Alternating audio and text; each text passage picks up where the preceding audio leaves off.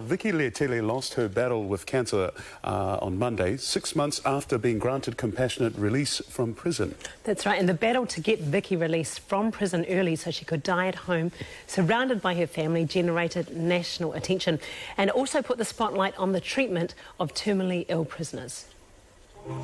A true fighter to the end, Vicki Letele, farewelled this week by family and friends. I just want her to be remembered for the love she had for everyone. Probably the strongest person that I've ever met or known. The way she fought for every last breath uh, was amazing. And she definitely didn't give up right to the end. She fought. She fought the whole way. Dave says his sister spent six weeks in prison suffering before doctors confirmed her fears that she had stomach cancer. Her treatment inside was disgusting. And um, you wouldn't treat a dog um, the way she was treated. And uh, all those um, all those people uh, in corrections should be ashamed of themselves. And um, my sister is a forgiving person, and her faith is very strong. But uh, I'm not so forgiving. But only God can judge. But um, all those people, who knows what could have happened if they'd picked this up six weeks earlier. Vicki was released in November last year. Doctors gave her four or five months to live.